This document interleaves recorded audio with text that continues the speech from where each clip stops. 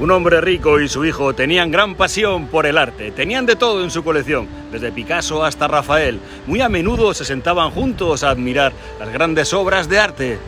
Desgraciadamente el hijo fue a la guerra, fue muy valiente y murió en la batalla mientras rescataba a otro soldado.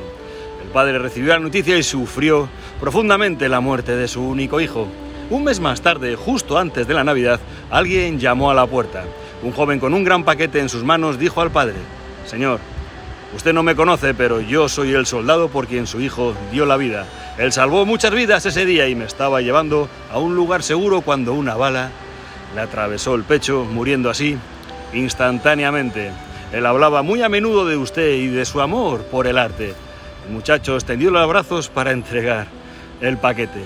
Yo, yo sé que esto no es mucho. Yo no soy un gran artista, pero creo que a su hijo le hubiera gustado que usted recibiera esto. El padre abrió el paquete.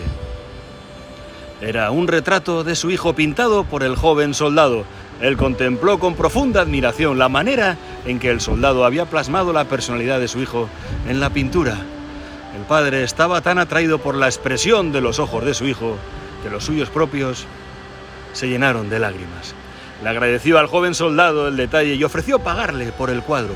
Oh, oh no, señor, yo nunca podría pagarle lo que su hijo hizo por mí. Es un regalo.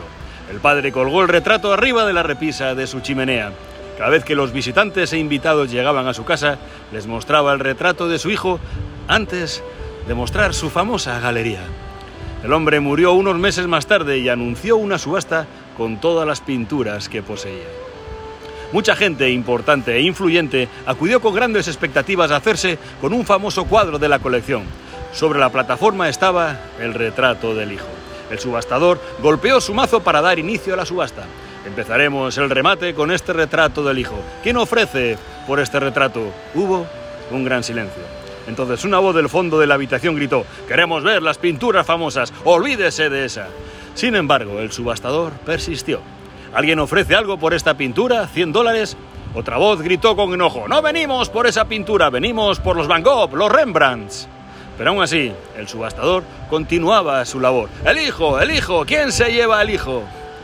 Finalmente, una voz se oyó desde muy atrás de la habitación. Yo doy 10 dólares por la pintura. Era el viejo jardinero del padre y del hijo. Siendo un hombre muy pobre, era lo único que podía ofrecer.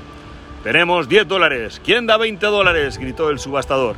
La multitud se estaba enojando mucho. No querían la pintura del hijo, querían las que representaban una valiosa inversión para sus propias colecciones. El subastador golpeó por fin el mazo. Va una, van dos, vendida por 10 dólares. Empecemos con la colección, gritó uno. El subastador soltó su mazo y dijo, lo siento mucho, damas y caballeros, pero la subasta llegó a su final. ¿Pero qué hay de las pinturas? dijeron los interesados. Lo siento, contestó el subastador. Cuando me llamaron para conducir esta subasta, me comunicaron un secreto estipulado en el testamento del dueño. Yo no tenía permitido revelar esta estipulación hasta este preciso momento. Solamente la pintura del hijo sería subastada. Aquel que la comprara heredaría absolutamente todas las posesiones de este hombre, incluyendo las famosas pinturas. El hombre que compró el hijo se queda con todo. Precioso, cuentos con alma, el valor de lo simple, de lo amoroso. Él no podía ofrecer más que 10 dólares, pero por su corazón, por tener la sensibilidad de ver el valor que tenía ese retrato del hijo, se lo llevó todo. Déjame tu comentario, sé inquebrantable, invencible, crees siempre en ti, pásatelo pirata. Nos vemos en los bares. Chao familia.